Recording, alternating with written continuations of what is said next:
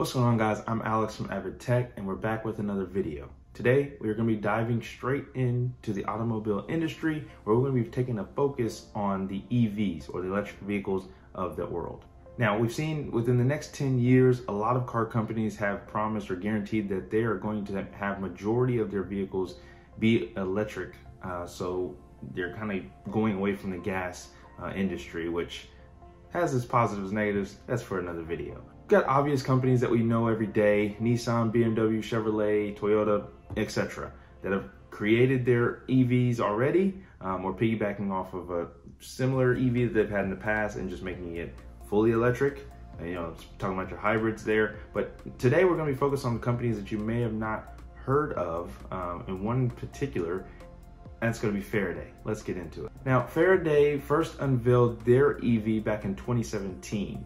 The name of it was called the FF91, which to me sounds more like a plane, but nevertheless, it was supposed to be a frontrunner in the industry. Their concepts for the interior and the exterior were both creative and innovative for the electric industry. Now, anytime we talk about EVs, we always talk about performance uh, because, well, frankly, they just outdo any gas cars uh, from standstill or 0 to 60, whatever the case is, quarter mile, um, in terms of speed and power. Um, so that doesn't change in the Faraday FF91. Faraday claimed that the FF91 came with about 1,050 horsepower and a sub 2.5 0 to 60 mile per hour time, um, which at that time, 2017, which would make it probably the fastest or not the second fastest uh, EV vehicle um, that would be to date.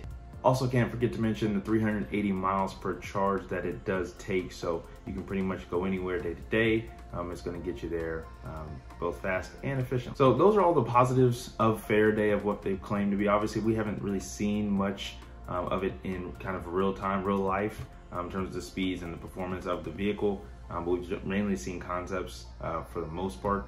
But um, now to the downsides. The negatives of it, obviously there is no mass production. Um, so, I mean, they haven't had any mass production since the unveiling of 2017. Um, now in 2022, they did announce that they would begin production in this year, uh, 2023, which is why we're making this video because I think it's very interesting and very, uh, it's going to come to light here about Faraday's FF91 to see if it can rival, obviously, the strong competitor in Tesla, um, and then obviously Rivian, who's making a push as well. So um, we're going to see if they're going to, you know, produce enough to uh, be a consumer style vehicle. That takes me to price here in a second.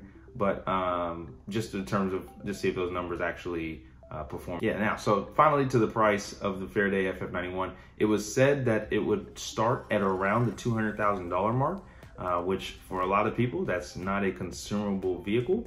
Uh, but if they were to come out with an FF91 and then another uh, consumable product that's similar um, to it in terms of design, um, and obviously the numbers and specs would be a little bit different in terms of horsepower and maybe estimated mileage range uh, with the battery, but um, you could possibly get a, a cheaper vehicle. I, I, can maybe see them making a something that's between you know 90 and 120.